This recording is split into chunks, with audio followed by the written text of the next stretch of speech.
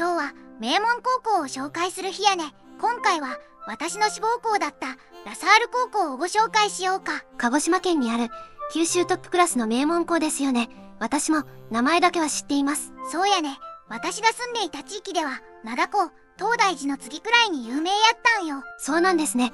なんでそこを目指そうと思ったんですか？私の家は毎日暴力が続く家庭だったから寮生活ができる遠く離れた高校に逃げたかったんよとても悲しい理由だった。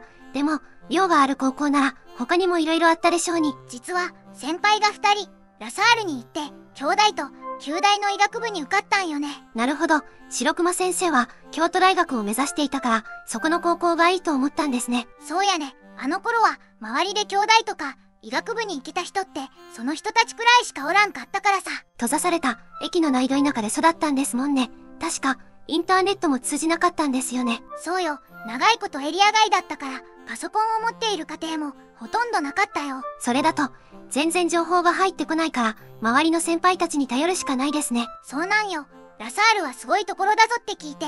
じゃあそこにしようかなっていう程度の理由やね。なるほど。それで、ラサールって、どんな高校なんですか？実際は中高一貫校の男子校やから普通は中学から行くんよ。私は中学の頃に初めて知った感じやね。ふむふむ。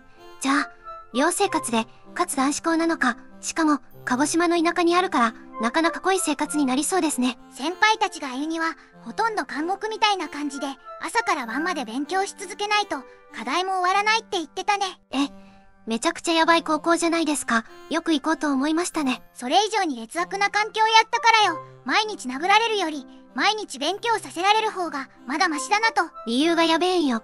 悲しくなるから、他の明るい話をしてくれ。ラサールに明るい話とかあるかな？先輩たちも若干ノイローゼになりつつ受かった感じやったからなもう、どういうところなんですか？怖いんですけど。今はもう時代が違うし合格実績も全然違っているから今のラサールのことはようわからんけど私の世代のラサールはスタディプリズンと呼ばれてたから地獄の勉強漬け施設やったんよねとても有名な進学校なのに、ガチガチに勉強させられる感じなんですね。そもそも西日本の中でも九州という地域は若干異常な教育方針を採用してて詰め込み型なんよ九州の中にいる人たちは気づいていないことも多いんだけど外側の人間から見たらマジで異常な感じよそうなんですね。なんか、九州が怖くなってきました。福岡のトップクラスの高校の出身の友達が何人かおるから聞いてみたことがあるんやけど福岡を中心とした九州の高校では朝課外という謎の授業が早朝から開始される上に尋常じゃない量の宿題が出るんよあ、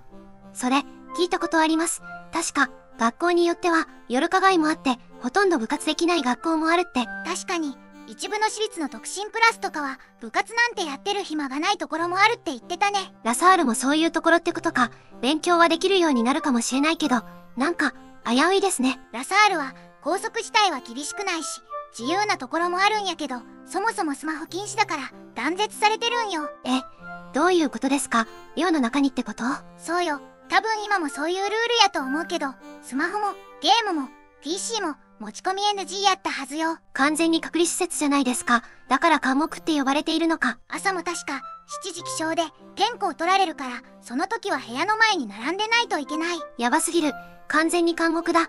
すみませんが、私は無理です。夜は19時までにご飯とお風呂を済ませないといけなくてそこから3時間義務的な自習時間になるちょっと待ってください。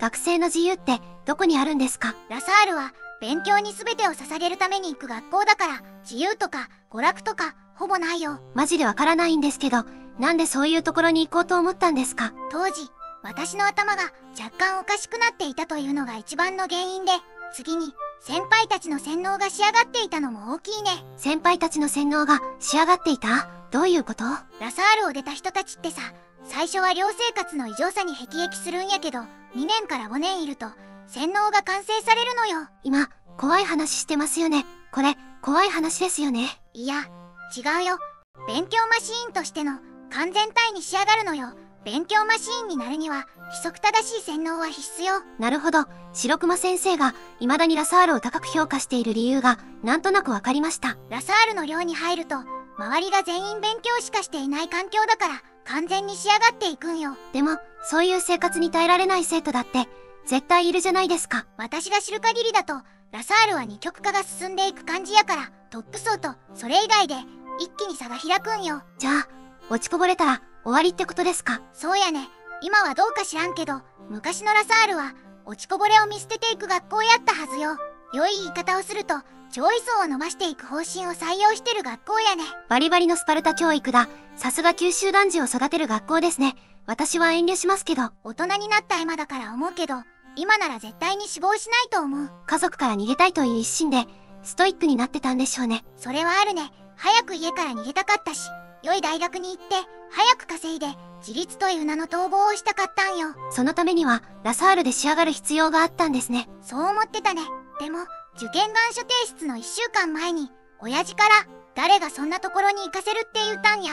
俺は学費なんか出さんぞと言われて受験できなかったけどね。かわいそうではあるけど、受けなくてよかったのではと、ちょっと思っている自分がいます。それは間違いないかもしれんいずれにせよ今のラサールは多分私の頃よりは良くなっているはずよ本当にそうだろうか、現役の人たちに聞きたくても、スマホ禁止だから、聞くこともできない。ラサールで仕上がっている子に聞いても全て肯定的な意見しか出てこないよもし聞くなら落ちこぼれた子たちに聞くべきやねそれでも総計上理くらいには受かってるはずやから聞くのがマジで怖いですね。でも、未だに人気があるってことは、教育の質は高いんでしょうね。どうやろね。実際に行ってみないとそこはわからんかも。とにかく受験生の皆さんは頑張ってほしい。ラサールに受かるくらいの学力があれば、他の名門高校にも楽勝で行けますもんね。そうやね。選択肢を多く持つことがとにかく大事やね。好きな地獄を選んでよ。ということで、最後までご視聴いただき、誠にありがとうございました。もしよろしければ、チャンネル登録をよろしくお願いいたします。次回の動画も近日中に配信いたします。それでは、次回またお会いしましょう。